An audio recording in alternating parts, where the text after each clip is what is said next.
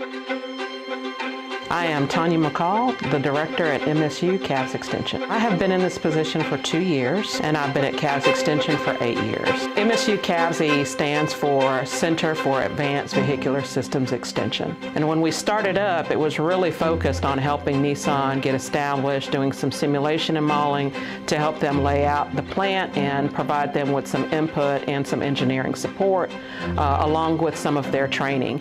And then over the years, it just transitioned as we joined MEP to offering similar services to companies across the state. So Cavs Extension focuses on three areas in the work that we do, our technical assistance projects we provide to industry, the professional development training that we provide, and uh, applied research uh, in specific areas associated with industry. So we offer anything from uh, highly technical classes with uh, statistical problem solving. We also offer project management and facilitation. Our two flagship classes are our Lean Manufacturing class and our Six Sigma class.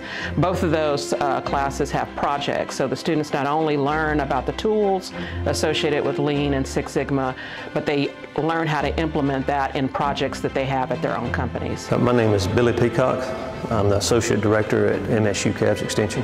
I've been with Cavs Extension for a little over six years now. Just this year we began an Industry 4.0 uh, initiative. We're trying to acquire robots, uh, cobots, and some automation machine monitoring technology that we can educate and inform Mississippi manufacturers about the technology that's available and where it's going and hopefully give them some ability to make informed decisions on how they can best spend their money and invest in the new technology. Site master planning is probably one of the, the bigger ones. As companies grow and have uh, need to look at relocating or expanding operations, there's a, a time period when they need a uh, additional manufacturing engineer support, and that's really where we have a good opportunity to make a difference that we can bring in uh, engineers and support them for a short period of time. I'm Andrew Frank, president of BFT Filing Solutions in Kosciusko. We make paper-based uh, filing products. We've been in this building since my dad founded a company in 86. It's an old, old building, over 100 years. We've got a lot of water problems and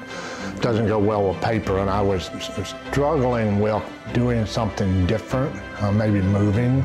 Went to look at uh, Mitchell Metals building because they were in the process of moving. Uh, the building didn't work for us, but the owner of Mitchell Metal, uh, Julie Taylor, uh, told me I should reach out to Billy Peacock and his team that they were helping them with their move and that they might be able to help us. So they started off with a site review uh, where they came in with all these cameras on tripods, and it was amazing, honestly. Took pictures of everything and measured everything, and then they were able to bring that back to us.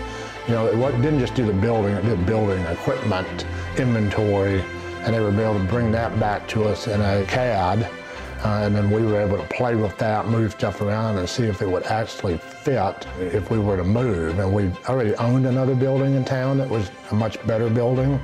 We just didn't think it would work there. Um, after Billy's team helped us with the site review, uh, we actually discovered we had plenty of room there. I'm Keith Dunham, founder CEO of Lockers Manufacturing located here in Batesville, Mississippi. So we specialize in making high-end custom metal fabrication locker systems and storage systems throughout the country. And so we make any type of storage system for the military. We also focus on educational. We also focus on the healthcare. And we work with a lot of Fortune 5 companies as well for their different type of locker applications that they may have. So we had been working uh, on a minor scale, but we went full throttle and uh, relocated our facilities from uh, Tennessee to the state of Mississippi. They did an excellent job recruiting us down here.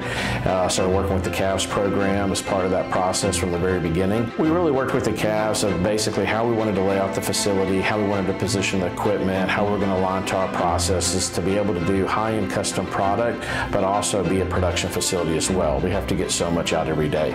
So they really worked on, okay, what's the geometry of how we're going to lay out the machines on the floor and what's going to be that configuration configuration and to be able to max out the facility. We actually bought an existing facility that had sat empty for a while and revitalized that facility, kind of bringing it back to life. And Cavs was with us from the first step. So they did a lot of 3D imaging.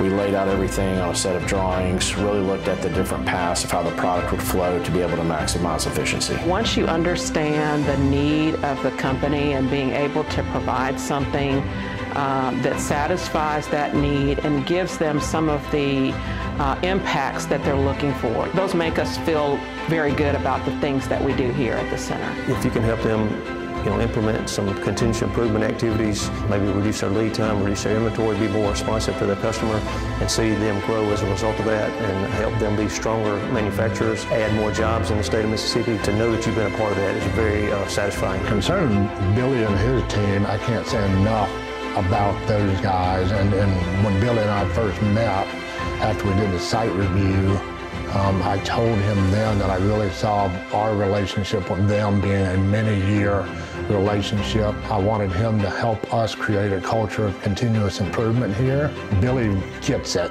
His team gets it. But Cavs did a really good job working with our team, letting them know that they're not here to dictate to them, but really complement what our plan was and not have to totally re-engineer to their plan, but really kind of understand who we were, where we were at within the process. And Cavs and, and, and Billy Peacock specifically with Cavs did an unbelievable job.